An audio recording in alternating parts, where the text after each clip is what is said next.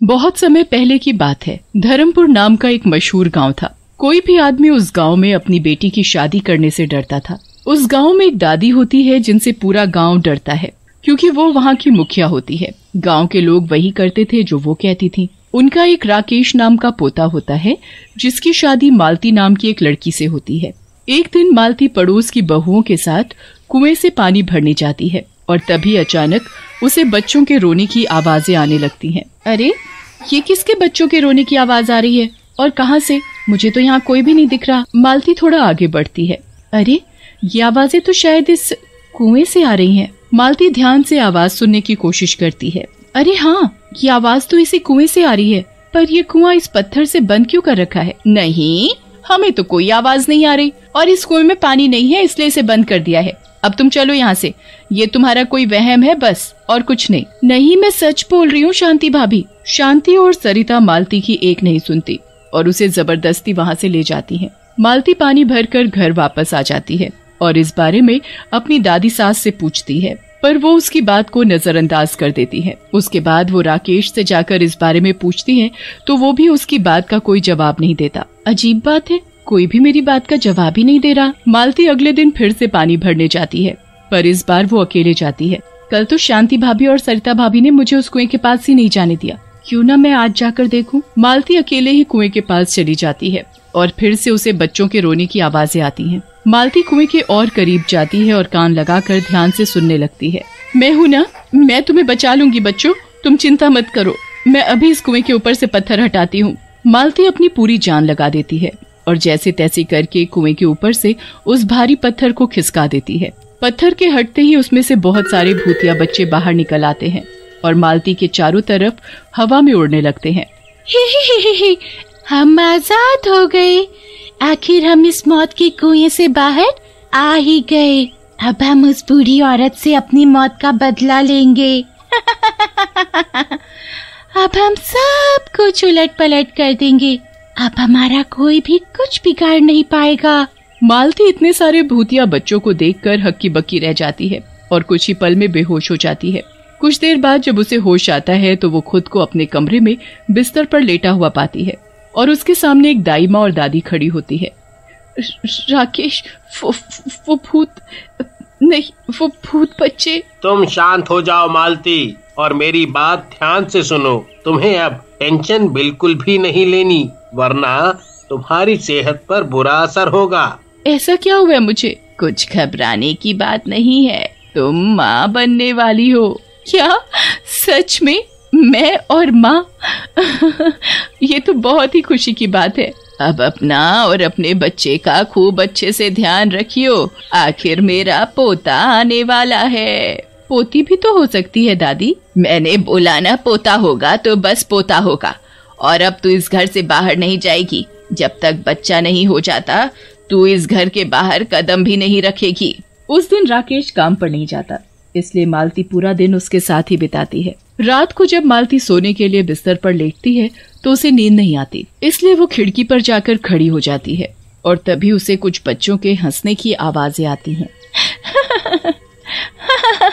कौन है? कौन है यहाँ? कहाँ हो तुम बच्चों? मेरे सामने आओ। मालती के इतना कहते ही कुएँ के वही भूतिया बच्चे उसके सामने आ जाते हैं और उसके चारों ओर हवा में उड़ने लगते हैं। जाओ जाओ यहाँ से। राकेश, उठो उठो राकेश। देखो देखो वही भूतिया बच्चे। मुझे बचाओ राकेश, मुझे बचाओ।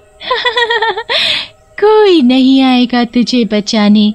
हमें सब पता है कि तू भी माँ बनने वाली है। अब तो हमें तेरे बच्चे के आने का इंतज़ार है। जैसे ही वो इस दुनिया में आएगी हम उसे अपने साथ ले जाएँगे। ऐसा क्यों कर रहे हो तुम मेरे साथ? मैंने तुम्हारा क्या बिगाड़ा है? अब तो हमें मौका मिला है अपनी मौत का बदला लेने का। तुम ऐसे क्यों बोल रहे हो? प्लीज़ मेरे साथ ऐसा मत करो। मेरा बच्चा मेरे लिए सब कुछ है। पर उसे आखिरकार हम बच्चों में शामिल तो होना ही पड़ेगा।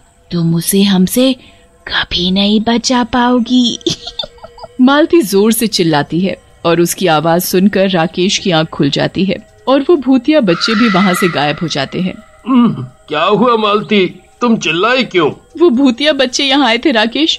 वो कितने डरावने थे और वो मुझे बोल रहे थे कि वो मेरे बच्चे को अपने साथ ले जाएँगे। मैं उनको अपना बच्चा नहीं दूँगी। कुछ नहीं होगा हमारे बच्चे को मालती। तुम बिल्कुल चिंता मत करो। मैं आज ही दादी से कहकर पंडित से तुम्हें झाड़ा लगवाता हूँ। फिर देखना सब ठीक हो जाएगा। सच में? फिर वो मेरे बच्चे को नहीं ले जाएँगे ना? नहीं मालती नहीं। चलो अब चुपचाप सो जाओ। राकेश और मालती सो जाते हैं। अगली सुबह राकेश अपनी दादी के पास जाता है और उनको सारी बात बताता है।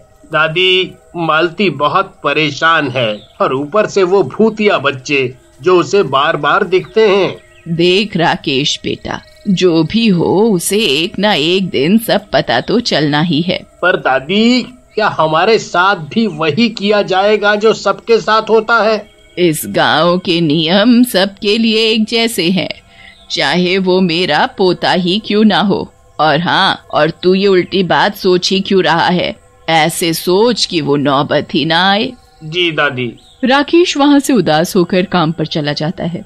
मालती घर में अकेली बैठी इधर उधर की बातें सोच सोच कर परेशान होती रहती है। उसे बार बार वही भूतिया बच्चे दिखते थे। वो सबको इसके बारे में बताती थी, पर पता नहीं क्यों, कोई इस बात पर ठीक से जवाब नहीं देता था। उसे अक्सर वो बच्चे दिखते थे जो उससे हमेशा उसके बच्चे को ले जाने की बात करते थे। ऐसे ही नौ महीने बीत जाते हैं और मालती की तबीयत बिगड़ने लगती है। घर में सब बाहर गए होते हैं।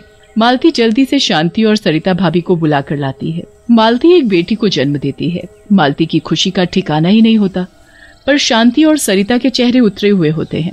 रात को जब मालती अपने बच्चों को खिला रही होती है तो वही भूतिया बच्चे मालती के कमरे में आ जाते हैं और उससे उसका एक बच्चा मांगने लगते हैं।